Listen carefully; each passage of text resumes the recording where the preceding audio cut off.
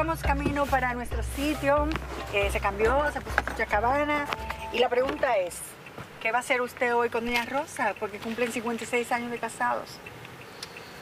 ¿No lo sabía? Son 55, ¿eh? Ah, ah, le puse uno, quítamele uno, sí. Bueno, pues Bueno, nada, normal. Normalmente lo que nosotros queremos, y ha sido nuestra meta y nuestra expectativa, es tener una familia unida y que, es- que se sientan orgullosos. Una cenita le va a hacer, una... Bueno, eso es una cuestión rutinaria, pero eso lo hacemos siempre a cena. O sea que no va a ser nada especial. No, nada especial, no.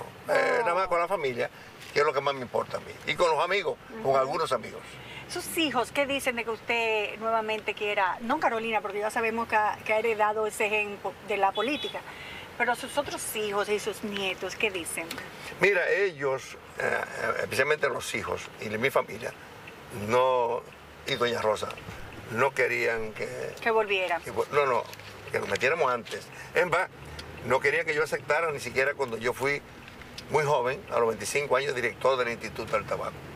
Porque realmente, eh, a lo que vi- vivimos de la actividad privada, no es tan fácil dejar sus actividades para meterse en posiciones políticas. Ya. Y mucho menos si somos campesinos, como yo soy un campesino rabioso. Es un problema. Pero bueno, yo acepté el cargo de muy joven, ser director del Instituto del Tabaco. Sí. Ah, Y eso- fue una buena experiencia. Eso es antes de que lo llamaran. 1966, Para esa 65. época le llamaban cabullita todavía. ¿no? Cabullita, me Todavía le decía, decían sí. cabullita. Sí, le porque decían yo cabullita porque. Yo tenía el pelo natural, no como el tuyo, que es artificial. No, el mío era cabullita natural. está bien, hasta que me, me puse madura. Pues somos colegas entonces. Somos colegas de Sí, infancia, de sí. pelo rubio. Y después, cuando secretario de Agricultura, tú sabes, mis afectos, a mí me unieron y me unen vínculos fraternos con el presidente Guzmán, ¿A quién quiso más? ¿A Peña o a Guzmán? a Guzmán. Más que Bueno, Peña. te estoy diciendo la verdad. Ok, porque. Yo me quiso- siento, Peña y yo éramos aliados políticos y amigos políticos. Antonio Guzmán no era, eh, aunque era yo, participé en política con él, pero para mí Antonio Guzmán era un padre. Por eso digo, de hay unos vínculos fraternos con el presidente Guzmán. Son otro tipo de cosas. Pero eh, el presidente Guzmán, que a quien yo era parte de, de- de su casa por mi amistad con su hijo, participé con él como un tecnócrata, no como un político. Ok. Y obviamente él tuvo la delicadeza o, o de, de ofrecerme la Secretaría de Agricultura. Y la verdad que tuve un conflicto yo con doña Rosa, porque ella no quería que yo fuera. Dejara, primero yo era un, un- un funcionario importante en la actividad privada, tanto en una compañía transnacional y en ese momento con una compañía de Navarrete que se llama La Linda. Entonces yo tenía estabilidad y tú sabes que las mujeres normalmente le tienen mucho miedo a la inestabilidad y a los problemas políticos. y- entonces realmente no queríamos. Y mi familia, por, por la parte de mi madre, realmente nunca han estado en la, en la política, de, en la carpintería política. Pero eh, yo acepté, el presidente eh, Guzmán me, me convenció y me pidió que lo acompañaran por secretario de Agricultura y yo pienso que ahí me picó una avispa ahí. ¿Y? La, la, la vipa de la política, Sí, sí, le gustó sí. el carguito de ministro de Agricultura, después el carguito de presidente. Sí, sí, ¿Le gustó el carguito? Sí, es verdad. Mira una Digo, cosa. Tú comprenderás que yo fui después fundador con Peña Sí, el bloque claro, institucional. cuando salió del PLD y todo lo demás. Del PRD. Del PRD. Mire una cosa que le iba a decir. Usted habló mucho y ha dicho lo que era empresario, que de, de hecho ah, sigue siendo ah, empresario agroindustrial. Cuando fue presidente declaró 19 millones, cuando salió 46 millones, le dijo a Jorge Ramos que tenía 2 millones de dólares. ¿Y ahora cuánto tienes? ¿Más rico o más pobre? No, yo estoy fondeado. Yo estoy.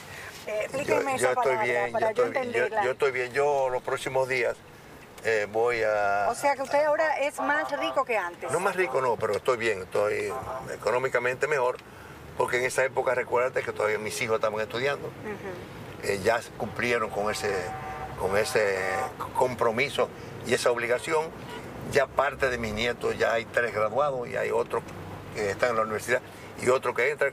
Tengo menos presión porque afortunadamente ellos tienen independencia, aunque uno nunca termina la independencia con la familia, No, y mucho menos yo, Eso es, eso es que- eterno. que me siento orgulloso de ayudar a los Entonces está muy bien de dinero. Sí, estoy bien, estoy bien. O sea, no necesita pedir Y lo más importante que te- No, no debo, gracias a Dios. Yo, yo pienso que nunca ha estado en duda la honestidad per se suya, intrínseca. O sea, ciertamente nadie puede decir otra cosa, ni de usted ni de su familia. Eso, eso está claro. Pero es como el presidente Balaguer, tanto que usted lo menciona, que decía que la corrupción se separaba en, el- en la puerta de su despacho. Pero yo fui de los pocos presidentes se que, paraba que trancó, que trancó su cuartel, el único, de los pocos. Doloroso para mí. sí, bueno. Doloroso para mí. Bueno, Doloroso, eso, eso ¿eh? trabajo, usted trancó a Víctor Pío por un trabajo que hice yo. Pero en otro, en otro no me fue muy bien con usted. Usted me Bueno, habló mal de mí, usted me dijo no, varias bueno, cositas. no, eh. no. Ese funcionario tiene todo mi apoyo y respeto de la ciudadanía. Y lo que diga Nuria o, nu- o no Nuria a mí no me importa. No, porque tampoco yo tengo que aceptar todo, todo lo que te dicen y lo que tú digas. No, por supuesto, Yo pero no tengo vos- un contrato de exclusividad para coincidir contigo en todo. No, no, no, yo sé que no, pero usted no se lleva bien con los periodistas. Yo tengo No. mi criterio propio. Claro, por supuesto, pero lo que quiero decir, si ahora usted vuelve a la presidencia, ¿su relación con la prensa va a ser más Eh, tranquila Yo pienso que sí, porque diciendo que yo son pienso que sí, yo pienso que sí. Pero si es un talibán, le digo talibán. Y, y otra cosa. El periodismo... Y, y otra cosa. El- el period- ha no lo prostituiría. Bueno, porque eso le iba yo a decir. El, el PLD ha logrado una estructura Ah, no. periodística comprada muy elevada, de nómina, ciertamente. O sea, ¿qué piensa usted sobre eso? Bueno, Aquí eso- pocos eh, periodistas son Eso es, independientes. eso es mortal. Eso es un. Es más, es una, ese es un peldaño hacia la, la dictadura con apoyo popular. Claro. Y una, un peldaño en cualquier actividad de la política internacional a cualquier extremo de la política, de lo cual yo estoy muy, muy lejos de los extremos. Muy bien. Usted sabe que hace 18 años, cuando usted fue presidente, estábamos en, en una jipeta similar y yo recuerdo que fue una sensación muy extraña. Estábamos dentro del carro, usted, estábamos haciendo 24 horas con usted. Para mí fue muy chocante ver a un presidente comiendo picapollo, se lo quiero decir de ahora, pero yo decía, bueno, con el presidente vamos a comer bien. Y cuando yo vi que usted dijo, vamos a pararnos aquí, y yo, ¿qué? ¿A comer qué? ¿Picapollo? No, yo no puedo Y- creer. y arroz y frijoles. Oh my God. Pero lo que le quería No, pero lo mejor que hay de, de- de mi, de mi menú Ajá. es el mangú. Ah, el mangú. No, y usted me dijo ahí que era, acuérdese, yucólogo, porque yo, como la yuca, sonó extraño. Usted me dijo, esa yuca está mala. Sí, sí, y me dijo, claro. usted yucólogo. Oye, me crié en eso. Ahora, Además, la- el mangú mío tiene ñame, ay, qué rico lo vive. guineíto, rulo y plátano duro. Muy bien, Sí. excelente. Pero lo que le quería Es decir una es fórmula especial. ¿eh? que fue una sensación muy agradable, porque usted no se va a recordar, de que yo iba con el presidente de la República. Mire la gente, eh, mire la presidenta. Eso lo, ma- eso lo mandé yo para que viniera. Eh, le iba a decir que cuando iba, íbamos en la jipeta, nosotros pasamos por el palacio, el presidente estaba al lado mío y y yo dije, dije lo siguiente, ¿quién estará ahora en, en el palacio si tengo el presidente al lado mío? Eso hace 18 años. No, yo no tenía ese prejuicio, ni ese complejo. Es más, te lo juro por lo que tú más quieras, que yo no sentí nada extraño. ¿sí? Nada. Yo comía lo mismo. Es más, cambié el cocinero. Usted me cocina a mí arroz y frijoles aquí. Ya. Y lo, por eso fue lo que yo comí toda mi vida y lo que me gusta. Tú ves, si yo voy a un país como los países asiáticos y tengo tres Sufre. días comiendo hojas de... No, no, me la como las hojas. Pero oye, estoy loco por... Por volver. Cuando yo estaba viviendo en Estados Unidos, a los seis meses de yo no comer arroz y frijoles porque no sabía cocinar, me fui a Nueva York de unos familiares. Y lo único que yo tuve en día a día fue que me dieran arroz y frijoles de desayuno, arroz y frijoles de comida y arroz y frijoles de cena. Mire, vamos a ir a la Plaza Colón, donde está la estatua de Colón. ¿Le parece bien? A lo que usted Hace diga, mucho a- que no a va lo que- usted a lo que usted diga. Ok, pues vamos, señor. Buenos días, papá. Está ¿Cómo todo bien. está? Está todo bien. La Universidad Autónoma. Voilà, ça c'est va être le, le- futur président de la République. Venez saluer. Les Français en vacances, Non, tout non, non. simplement. No English? Française, non, française. ¿Lo francés? Française. C'est lui qui va. C'est lui qui va être Very, very, dile que somos muy amigos de Mitterrand. el licenciado Francisco Green. Tenemos que hablar muchas cosas. Yo quiero el teléfono suyo. Muchas, muchísimas cosas. Hablar con él. ¿Y dónde tú aprendiste francés? Yo hablo cinco idiomas. Yo soy samané, café con leche. Café con leche, tú eres café puro. Sí, allá de Samaná, de Las Terrenas, el limón. Ese no. Ok, ¿y qué Eh, tú quieres hablar con el presidente, con Hipólito? ¿Con, con quién? Con Hipólito. Oye, Pero, pero. Ese, es mi- ese es mi traductor de, Oh, ok. de la yo- Francia. Yo necesito el teléfono suyo. Ah, personal. Sí.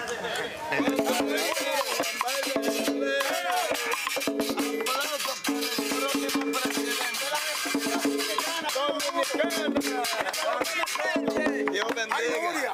Esa vaina, esa vaina la toca todo el mundo, la guira de San Juan que todo el Ah, mundo sí que sabe. eso no era instrumento. Ok, muy bien. Dime, Estamos la gente tuya aquí contigo todo el tiempo. ¿y ese sombrerito? Aquí, papá. ¿Eh? ¿Eh? Mire, si yo te usted gobernando, yo estuviera anivelado. De verdad, Mire, a mí me da brega para vender un sombrero aquí. ¿no? no me digas. Con la edad que yo tengo. ¿Por la edad? No, que me da brega vender un sombrero. ¿Por qué? Se venden No, poco. porque es que la cosa se fue todo. Pero hay buenos de eso. ¿Eh? Hay buenos. Eh, Mire, mire, mire, yo veo mucho bonito. Mire, mucho bonito. Eh, ¿Es bueno? Sí, sí, te lo voy a comprar. Una foto con, el, con mi jefe. Sí. Un placer, Diego Calderón, de la Asamblea Legislativa de Costa Rica. ¿Cómo estás Un placer tú? saludarlo. Puro tico. Puro tico, pura vida. Gusto Pura vida. saludarlo, de verdad. ¿Lo Yo soy- conoce? No, no, Yo soy muy amigo. expresidente de la Yo soy muy amigo de, de, de, de- de Don Pepe. De don Pepe, del hijo de... No, no, de, de Don Pepe, de Don Pepe. Pepito es en medio huevón. Sí, increíble. ¿Cómo está usted? ¿Usted es familia mía?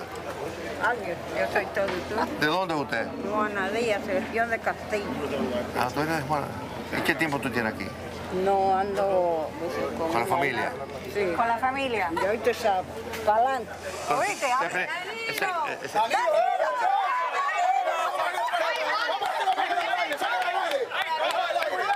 No me, con- confunda con ese azaroso. Déjeme ver, déjeme ver, presidente. Está vieja. No tengo comida, estoy media mala de la mente. De verdad. Y discúlpeme la molestia porque lo llamé así. No Ay, importa, no. la gente se confunde. Y Daniel no te pone tu chicacito. Ay, yo no tengo nada, Ni, amigo. ni bono, ni nada. Yo no tengo de nada. De verdad. Ana, pero Farú te va a ayudar para que no, para que no salga ahora.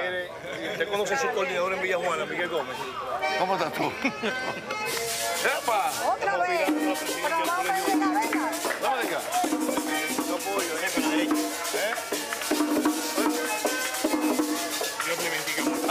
Muy bien aquí. Gracias a Dios. Permítame regalarle eso. Ay, qué Un homenaje a bello. usted. Uy, pero qué le- Ay, qué ¿Y, y cuánto, lindo. de esto, eh, cuánto de esto tú tienes? ¿Cómo? ¿Cuánto de esto tú tienes? Todo En eso. la catedral tengo ¿Quién lo diferentes pintó? trabajos. Él. ¿Eh? Tengo diferentes trabajos. ¿Usted Ah, lo pero- pintó? Ah, usted lo pintó. ¿Usted es artista? Mira, mira, mira, mira. ¿Eh? Juan Rodríguez Poy. A Mira, mira. Juan Rodríguez. Mira, Mucho mira, gusto, Juan, Juan. Me lo va, va, va a poner contigo, pero ya te he regalado, los otros lo compramos. Yo quiero tener esa colección. ¿Cómo estás tú? Tú me estás preparando para un merenguito.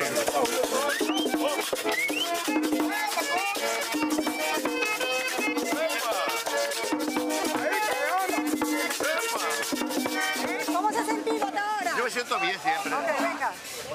Vamos como una gallinita aquí. Con... Ok.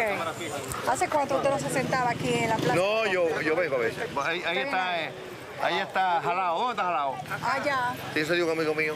Sí. Yo he venido de una vez en mi vida. ahí. ¿Por qué, ¿Por qué está Pepe Golco aquí? ¿Por qué usted se hace acompañar de Pepe Golco? ¿Usted no cree que eso no está bien? Es una persona acusada de 10.000 diabluras. ¿Por qué ser tan fiel a una pe- persona que le me- hace déjame tanto decirte, a daño? mí me unen vínculos con la familia de Pepe, fundamentalmente su padre, durante muchos años. Y aunque Pepe fue balaguerista, Pepe ha sido una persona muy leal conmigo. Muy Pero leal. ha hecho muchas travesuras pero hay que- hay que- se la ha hay- mantenido. Eso hay- no está bien. Sí, pero hay que tener también sus traviesos a veces. No, pero no públicamente. Así como Félix Bautista sigue al lado de No, no, no, Leonel. no, no, no comparo una cosa con otra. Pero Pues bueno, eso, ¿por qué eh, no? esa fue una Por- decisión mía que yo tuve la libertad de hacerlo. Y ese señor es un delincuente. No, no, eso sí, no, eso yo no lo acepto. Es un No, delincuente. y no ha delinquido nunca, no ha matado a nadie, ni le ha robado nunca a nadie. Bueno, eso no es lo que tenemos entendido. No, Acuérdese de la famosa Pepe Car y de Todo eso cuento, todo eso cuento, eso fue mentira. Usted sabe que el travieso. Pero todo eso es mentira. Eso de No, Pepe no todo No, no, mentira. pero yo no acepto lo de Pepe Car. Porque eso fue parte del, del mismo engaño de la, de la banca. Bueno, yo lo que digo es que si ustedes, los presidentes que quieren ser presidentes, se mantienen con las personas que hacen las travesuras, porque usted acaba de decir que siempre hay que tener a uno, No, entonces no, yo no tengo, mira, yo no tengo esos prejuicios de ser escéptico. En política yo no tengo. Ahora, con él yo le agradezco y lo, y lo tengo no escondido, porque ha sido solidario conmigo y yo solidario con él. Bueno, Es una libertad que puedo, puedo tomar. Bueno, pues Sí. libre. Pero decir libre. cosas, aceptar cosas que no son, no las sé. No hay que olvidar que Pepe Goico fue sometido a la justicia en 1997 por el fraude de la Lotería Nacional. En el 2002 fue puesto bajo arresto por el Ministerio de las Fuerzas Armadas, donde se le interrogó con relación al fraude millonario de la tarjeta de crédito conocida como Pepe Card. En el 2006 fue enviado a la cárcel La Victoria por tres meses, acusado de uso y distribución de dinero proveniente del narcotráfico en coordinación con Quirino. En el 2007, Pepe Goico fue enviado a juicio de fondo por el caso del cargamento de 1.387 kilos confiscados en el 2004, donde fue acusado de lavado de activos. Además, hay que recordar el maltrato recibido a muchas personas cuando era el jefe de avanzada del presidente Mejía. Entonces ahora me gustaría ir a otro sitio cerrado, con otro tipo de gente, de poder adquisitivo tal vez un poco más alto. Pero no me engañe como aquí, porque usted me engañó cuando venía ¿Por qué? para acá. Usted me dijo, vamos a ir a un lugar, eh, una vuelta, y mire, me enseñó, me, me preparaste un pueblo aquí. No, yo no preparé nada.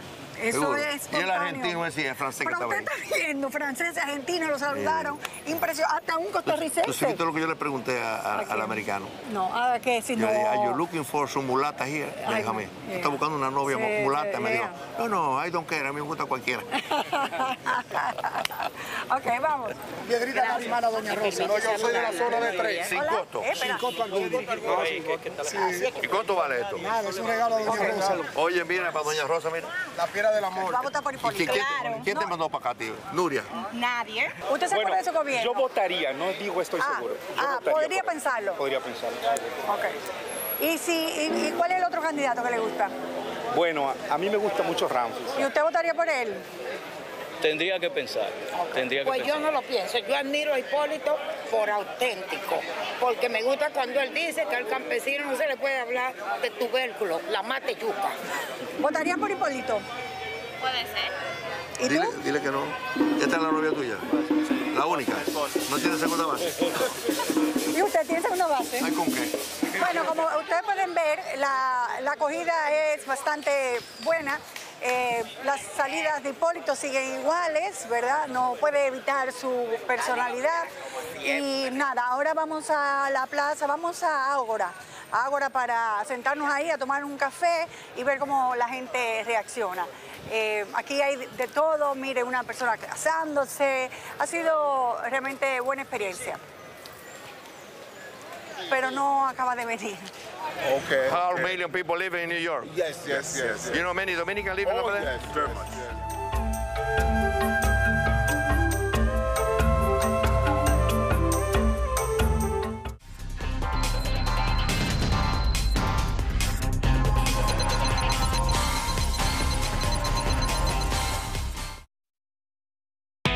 Encantó la experiencia. Hasta yo, que hago todo digital, quedé impresionado con las mesas interactivas, los cajeros automáticos touch y hasta vi una charla de tendencias tecnológicas en un video wall súper moderno.